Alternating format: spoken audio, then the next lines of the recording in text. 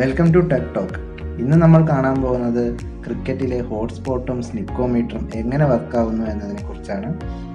അപ്പോൾ വീഡിയോയിലോട്ട് കടക്കുന്നതിന് മുമ്പ് ഈ ചാനൽ ഇതുവരെ സബ്സ്ക്രൈബ് ചെയ്തിട്ടില്ലെങ്കിൽ ഉടൻ തന്നെ സബ്സ്ക്രൈബ് ചെയ്യുക. അടുത്തുള്ള ബെൽ ഐക്കൺ അമർത്തുക. ക്രിക്കറ്റിലെ ചില കീപ്പർ ക്യാച്ചുകളും എൽ ബി ഡബ്ല്യു ഔട്ടാണോ അല്ലയോ എന്ന് നിർണയിക്കുന്നത് തേർഡ് അമ്പയർ സ്നിക്കോമീറ്ററും ഹോട്ട്സ്പോട്ടും ഉപയോഗിച്ചാണ്.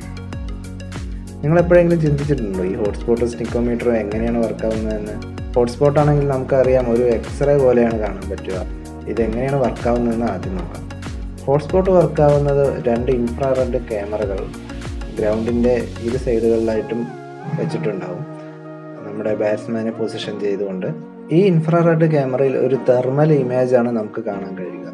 അതായത് ബാറ്റ് ബോളുമായിട്ട് കോണ്ടാക്റ്റ് വരികയാണെങ്കിൽ അവിടെ ഒരു ഹൈ ടെമ്പറേച്ചർ ഡിഫറൻസ് ഉണ്ടാകും നോർമലി ഉള്ളതിനേക്കാൾ കുറച്ചുകൂടെ കൂടുതലായിരിക്കും കാണുക. അങ്ങനെയാണ് ആ ബോൾ കൊണ്ട സ്ഥലം വെള്ളപ്പാട് നമുക്ക് കാണാൻ കഴിയുന്നത്. ഇങ്ങനെയാണ് നമ്മുടെ ഹോട്ട്സ്പോട്ട് വർക്കാവുന്നത് എന്നാൽ സ്നിക്കോമീറ്റർ ആണെങ്കിൽ നേരെ തിരിച്ചാണ്. സ്നിക്കോമീറ്റർ രണ്ട് വശത്തുള്ള സ്റ്റെമ്പിലും മൈക്ക് വെച്ചിട്ടുണ്ടാവും. ഈ മൈക്കിൽ ഒരു ഫ്രീക്വൻസി കിട്ടും. അതായത് ബാറ്റ് ബോളുമായി തട്ടുമ്പോൾ ഒരു ഫ്രീക്വൻസിയാണ് നമുക്ക് ലഭിക്കുന്നത്. ഓരോ സൗണ്ടിനും ഓരോ തരം ഫ്രീക്വൻസിയാണ് ഇപ്പോൾ ഗ്രൗണ്ടിന് ചുറ്റുമുള്ളവരൊന്നും സംസാരിക്കുന്നൊന്നും ഈ മൈക്കിൽ റെക്കോർഡാവില്ല ഈ ബാറ്റും ബോളും തമ്മിൽ ടച്ച് ചെയ്യുമ്പോൾ മാത്രമേ ഈ ഒരു ഫ്രീക്വൻസി ഉണ്ടാവുകയുള്ളൂ. ആ ഫ്രീക്വൻസി മാത്രമേ ഈ മൈക്ക് അബ്സോർബ് ചെയ്യുള്ളൂ അങ്ങനെയാണ് നമുക്ക് സ്നിക്കോമീറ്ററിൽ റീഡിങ് വരുന്നത്.